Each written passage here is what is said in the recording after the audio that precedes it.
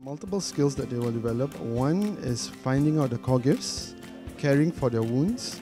There will also be communication skills that they will learn, uh, how to relate better with the mentees. Uh, they will also find out um, about uh, communication in terms of skills, leadership skills, uh, as well as uh, relatability skills. Uh, so there's a, a, a, lot of skills that they will develop today uh, through this mentoring training, and that will help them uh, throughout their mentoring journey. And on top of skills, there's also uh, a portion about empathy that they will learn today for them to continue the journey with their mentees. It's going to be a rocky journey sometimes for them. So empathy and being a strong-willed will allow them to continue throughout the whole mentoring journey.